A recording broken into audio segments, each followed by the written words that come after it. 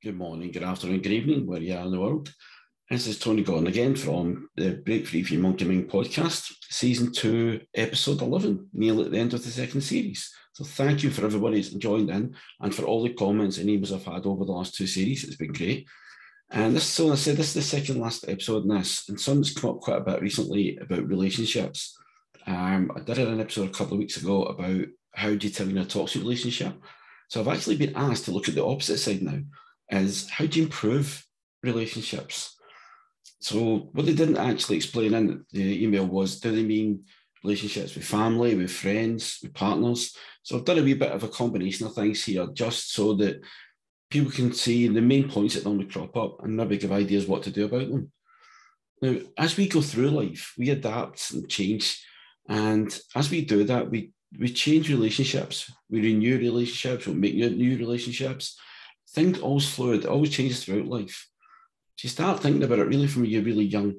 You've only got your own environment. So you've got that with your parents, your siblings, maybe aunts, uncles, grandparents, whoever visits. And then you start learning to go to school and you start seeing other things, the way other people act, the way they do things. So you start building relationships in that way with your teachers, with your other pupils. After school clubs, maybe not everybody that you normally would go about within school are in those clubs. So you meet different people there. And as you get older through secondary, you start making more and more friendships at last. You've got work colleagues after that, people who are just friends that you meet outside work, and possibly girlfriends, partners, um, boyfriends, then leading to marriage and maybe even your own kids. So through all of that, you will constantly change and adapt. Your personality will change and adapt as things happen in your life. Your environment changes, your beliefs change, your values change. So, how do we go through all of that and still try and keep those relationships growing or keep the way they are? Whatever it suits you. Now, recently I was talking to someone and they explained to me a really good way of looking at this, like an analogy for it. They said they look at the relationships like a beautiful garden. If you can imagine going to this gorgeous garden, a little brick wall, it was a beautiful little gate, coloured gate, walked through it, and all you could see was beautiful plant beds. And they were full of blossoming flowers. And he said it made you feel good even walking in there because the smell, the look, you just felt great. And it made him think about how much effort it took to get that like that to dig all that soil, to put the right nutrients into the soil, get the right plants to go into the soil, and make those choices to make sure that everything there is right. And you put all that hard work in the beginning, but then you've got to keep maintaining it. You've got to nurture those plants, give them the right feed if they need it, make sure they've got the right sunlight, the right water. And that sounded like a relationship when you think about it. And he said, What happens then when you don't give it that effort? The, the huge effort you make at the beginning and what happens if you don't do that through time? Well, if you don't cultivate a relationship, like you don't cultivate the flowers, the flowers die. Weeds start to flourish and weeds overtake, and they've taken all the nutrients that the flowers need, so the weeds end up winning. So after time, when you look at it, and you come back and look through that gate, and the picture won't be the same. You might get the odd little flower here and there, but if you've got so many negative parts to it, and you've not maintained it, you've not put the effort in, it's not what you wanted to get out of it and you start feeling a bit lost. You start thinking, how much effort is it going to take to restart that all over again and redo them? Probably more than it did at the beginning, because now you've got to get rid of all the weeds before you can start planting anything else. You probably didn't have to do that before. So I thought that was a very good analogy. And it made me think of things like couples. So one of the things is a lot of couples say arguments, they can be small arguments. Sometimes they say it's over silly things. And half the time you don't even remember what the things are afterwards. But the most important part of that is avoid deflecting the issue, deal with that issue at that time. What I mean by that is it's so easy to say, well, you did this last week or last month, or you never did this last week or last month. And you should really be concentrating, not what happened last week, last month, but what happened now. For example, if they'd never done something today, why didn't they do it today? Rather than jumping on and oh, they've just not done it again, there could be a valid reason but we don't always hear that bit. So, I mean, for example, some's to go to the shops and get something, and whatever happened, came and said, "Oh, you ask where it is," and before you get a chance to speak, you're already going to tirade to them for not doing it and bringing up all these other times. That simple thing could just be that they're there, that sometimes the shop's not had what they were looking for. They didn't want to get something that wasn't the right one. So they thought they'd just leave it and then go back and try later on the next day when they could get what the person wanted. But you don't always notice that because you're already listening to reply. What I mean by that is, as soon as they said, ah, well, or sorry, or whatever, you're already replying to them saying, oh, yeah, this always happens, or this is what you do. You've just done something, you've done something for you, not for me. Does that sound familiar? And then they start biting back the same. Well, you've done this before, or you've done that, and they cast things up. And before you realize it, you've got a full blown argument, which could have been really simply avoided by just a simple question Oh, what happened that you couldn't get it? Simple as that. So try that next time when you do have something. Try and keep yourself calm when you know that something's bothered you. And just to ask the question first and listen for the answer, not listen until you can jump in. Just try that and see what happens. You may be surprised. But one thing as well, if the person who didn't do it didn't do it for no apparent reason or they've got an excuse, there's no point in that. Just say sorry. If you're in the wrong and you own up to your part in that situation, say sorry. It may be just that they've done something or you've done something that didn't come across the right way or you didn't mean that. It always takes two things because you take responsibility as a wonderful tension reliever. If you want to reduce that so there's no big arguments with it, you need to make sure then if you have done something wrong, say sorry and explain that. Although sometimes things can still be taken differently. I had an example of this recently, and it's something that came out bad for me because it came the wrong way. I've always been told I'm not very touchy feely. I don't like hugging. I don't like touching people. That um, and coaching and doing it with therapy. Sometimes people say to me, "Well, people just need reassurance." Maybe by holding the hand for a few seconds and saying, "Look, it's going to be okay, or you can do this," or gently touch their face. And look, if they're looking away, get them to look and just say, "No, you are going to be great, or you're going to be fine, or whatever." But I did that in a situation recently, and it was taken the wrong way by the person, but they took it because their perception of it. Mine's maybe was I could have explained it clearer, or I could have asked permission first, which I probably should have done. And thinking on it now, in hindsight, it's always great. But because I've always told I've never really done that, that I'm a bit standoffish, instead of being shown a bit more empathy that way, I've learned from this that yeah, the both sides can work as long as you've got clarity, as long as you explain things the right way and say it. And I was sorry for what I did then because I never meant to come across the wrong way. So I've apologised. Whether the person did see that or not, I appreciate their side. It just means no, it, it was awkward for them, then that's fine. Um, I don't want to see other people having that. So make sure that when you do do something like this, say you're wrong right away and then explain why you've done it. I could have explained clearly and I didn't. So that's a lesson for me. Admitting to being in the wrong shows strength of character as well.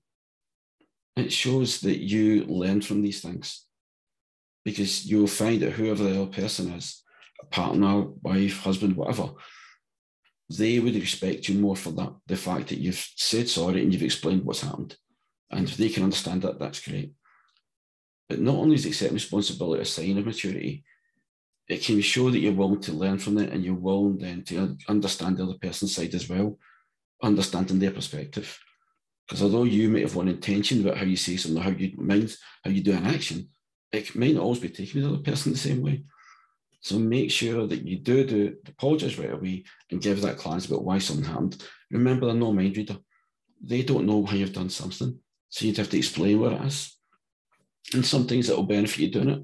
Sometimes maybe not. And if it doesn't work at that time, you still learn for the next time. And that's what's important. But don't just go silent and walk away. That's another one people tell me to do. Uh, I've done this. I think a lot of people have done that. Probably you get to a point point, you go, oh, I don't want more of this and just go. But this may feel good at the time because you know we're arguing and you're not, you, you don't feel like you get heated up and you can go and calm down easily. But all you're doing is really deflecting it again because the next time you see each other, that's still festering. So the argument then can end up worse because as it festers in someone, that can turn into a full blown argument. It can turn into anger. It can turn into frustration, which all comes out the same way. And if it just being diverted by just clearly explaining the first time, you can avoid all that. There's something to think about. There's a lot of people say they do it, they just walk away. It doesn't help. Even if the person doesn't calm down, let them finish first before you speak.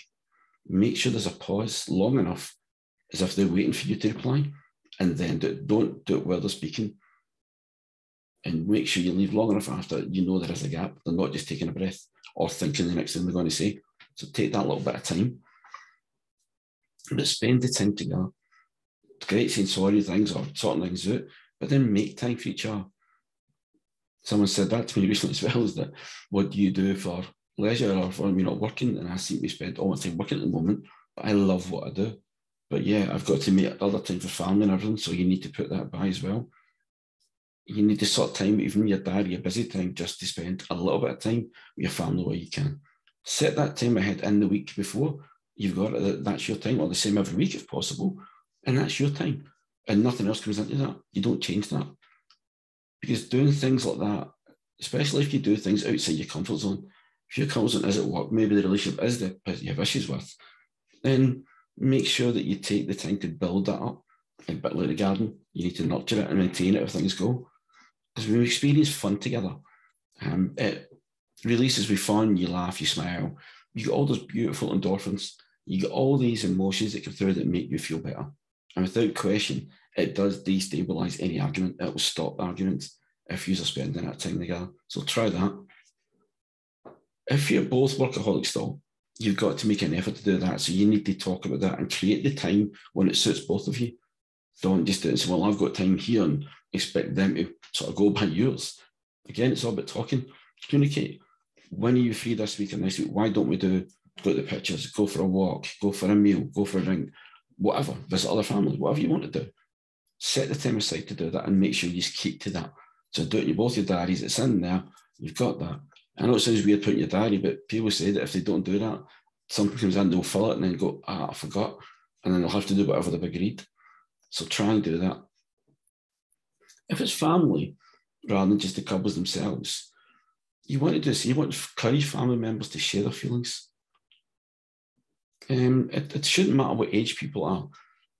If a family are willing to always open up and talk as a family, some people are spoken to say they actually still do something that I must admit I've not done a long time, but as a family, they sit down together, sometimes at the end of the day, sometimes at the end of the week, and just say what kind of week they've had. And it just clears the air with the feelings and emotion, but gets the children especially part of that. So they learn to understand feelings and emotions better because they're open to it. They're hearing yours and seeing yours and how you deal with it and saying, ah, so if that happens to them in the future, they know how to deal with it because they've been learning. Remember, they're like sponges. Everything that's happening in the world, especially if you think through up to even teenage years, especially, now we've not to 2021, they're still taking everything from this world, everything in, and learning how to deal with these emotions. Doing it as a family can be a great way of doing that but it also encourages them to be more open. So there may be certain situations you prefer to speak to the mom, the dad, the partner, whoever. But if you've encouraged that to speak to as a family, they'll find that easier as well. So when they do have any bad issues, serious issues, they don't hide away from it. They don't let it build up inside, but it can end up being stress, anxiety, depression. They know they can come to you and talk. So try and build that up. And more importantly, don't pick favourites. Sometimes you hear, oh, that's my baby, or this is my first something else I heard a lot recently and I remember growing up is having what's called the middle child syndrome. For example, if you've got three and the young one's the baby, the older one's the firstborn, the middle one sometimes can be a bit left out. And you might not always realise that, but they always seem to be vying for something with the other two. So you can sometimes find that there's arguments with them. And there always seems to come denominator as the middle one, but not necessarily. It can just be whatever age they are, what they're going through they can't be bored with the younger one, and the older one can't be bored with them because they're now finding other things in life to do. So it's better that when they're in their home environment, they don't see that, that they're not the same as everybody else. So treat everyone the same. And know people always say, I always do that. But when you step back and think about it, do you really? Or do sometimes some ones get more favourite time than others? Again, we were talking about with the couples relationship, schedule time for the entire family. I said earlier, some people say they do it night once the night or once a week and set a table through things. I don't mean that. This is about sitting down, maybe to meals together, or giving each other time for to take the family out or go. We said even trips for walks, for away for the day. Doing things as a family is an amazing thing for keeping the relationship built. The things you'll speak about when you're outside, the fun you can have, and just how beautiful surroundings can be that children don't always notice. And sometimes they do, and you don't. So you start growing up, you just see trees, but they see somebody play. Remember, kids can find some fun and laughter in everything. And sometimes that's what we all need. We need that fun and that laughter. Some days with all the work and the pressures we've got in life and responsibilities these days, we forget that. If you're all out as a family together, sometimes just look at your children and a wee leaf blowing up and they're chasing it, or rain coming down and they're jumping in puddles. You go to the beach, they're running in and out the water, playing in the sand. They have no inhibitions about doing anything like that. There's no responsibility for them, and it looks great. Then why not be that in that little bit of time you've got with your family? Is to be that child again. Let them see that side of you as well. And that's another great thing for bonding with your own children, but also for you as a couple. And other people see that and they go, I wish I had that. Why can't my family be that way? But they can. It's just taking that time to spend that way, that important time to spend together, quality time together. Try that and you'll be amazed how it works. Sometimes, though, as relationships don't work. So it's not all about all the great things in a relationship. Sometimes there really can be things when parents just drift apart or something happens with one or the other and they fall out. And again, because you know, arguments first start, it builds up and they find they're arguing more and more. And before you know it, you don't really spend any time together at all. And then you start avoiding each other actually. And how difficult that is to get back when that happens. And then the arguments start. So instead of little arguments, everything becomes it can just be the smallest little thing. You know, you their voice, what they do, banging doors, but they don't really. But in your head, it's banged because you're expecting that. It could be the plates coming down banging or not helping, not put the rubbish out, not went to shopping, whatever it is. All these things get to you and it builds up and builds up. And what we're trying to explain is that when you've got a family environment doing that, when it's just the two of you, it can be bad enough. You need to work on that and get it. When there's a family involved, and sometimes you can't really work on it there, and one person might leave. It could be the mother, it could be the father, whatever, the partner. When they leave, the kids have only seen that arguments all the time. That's all they know, and they can grow, depending on how age they are. If they're young enough, they think that's how adults deal with things when they don't get on. They argue, they fight. Is that really how you want your kids to grow up? Do you want them thinking that's normal? Or even worse than that, do you want them feeling like I don't want to be like that because look at their mom and daddy was like. So they don't open up to other people. They don't really feel comfortable in relationships. And that can be even worse because they can end up being alone without really any friends or anything because they find it difficult to meet them because they're always worried there's going to be an argument or there's worried they're going to leave. If you have an argument and they leave, what if I don't like something and they say it and I don't want them to go? So if I don't get them in the first place, they can't leave. And that becomes a mentality. And we don't all see that. And one thing that can happen with that, and it can help, is it can be just the kids are changing as well. Remember, they change throughout life. You look from two to seven roughly, the kids are learning right from wrong. So they learn all that from the parents. If you're arguing all the time, so they think that's right. Then you've got ones going through puberty before they know it. They're 11, 12. And that's a lot of emotions for them to take on. And if they're seeing that with you as well, that's really difficult because they're starting to get into the big world now secondary school, meeting a relationship, meeting girls, meeting boys, partners, you have to think of these things. But one way it can sometimes help that is if, for example, one of you has left the home, maybe you're trying to try a separation, maybe it's just you've agreed it's not going to work. You don't have to be enemies, especially with the kids involved. If you can be amicable and work out when you both get visiting things, and that's fine. But one thing can be quite powerful is they still need their values. They need to learn the values in life because that's not the right value they will learn if you're fighting. Well, what if the other person's not there? When it comes to birthdays or it comes to Christmas or Mother's Day, Father's Day, whatever, you get the kids something to give to that partner, that other person that's at home. Sounds weird, doesn't it? Why, if you you could have your own new relationship, you can get married, they could get married, but as long as your children are at home, you're teaching them a value in life just because two people don't get on and can't live in the same house together doesn't mean that happens to everyone. And it doesn't mean they can't talk to each other for the rest of their life. Try that. It seems an unusual thing to do, but it really does work. Because they start seeing what they from. They, they're really chuffing they can give the other parent a, a whatever the present is. Some simple socks or chocolate or bottle of wine, bottle of beers, um, flowers, whatever. Depends who it is. But try and give them something something to hold on to that they can see, ah, well, maybe only arguing over here, but then they don't do it now. So things are better. And maybe they'll stop arguing among each other because they can sometimes be split on loyalties between the two. Also, they can be that hurt because of what happened before, so they can't be bothered with each other. So you find that some of the siblings just start fighting each other because they think that's all they're supposed to do. So they don't agree with each other, argue and fight. But that can help calm it down. Letting them see whenever you are together. So if you have to meet to for the kids to get picked up or whatever, let them see he's talking civilly. Let them see how he's got on and you tell them about how you're happy, how the other person's doing, and they're happy for you. That's an amazing thing as well. But those kids learn from that environment the real values in life and they, they make their own beliefs and values based around that. So try and see what works.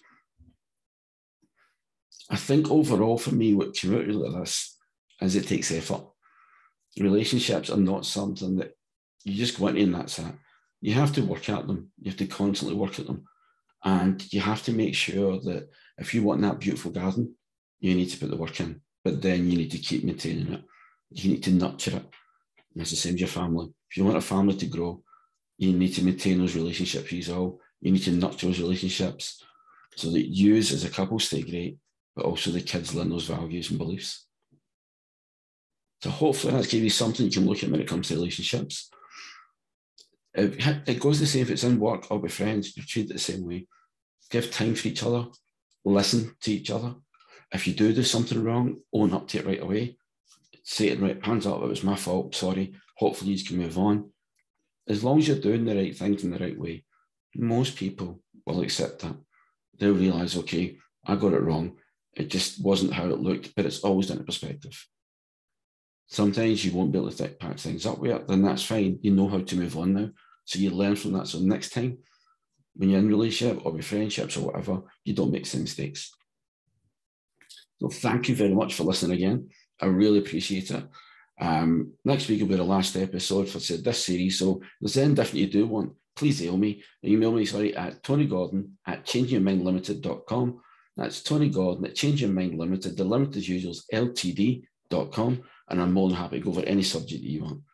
So thank you very much again. Take care of yourself and nurture those relationships. Thank you very much, everybody, for joining in today. I really appreciate it. Thank you. Take care of yourselves.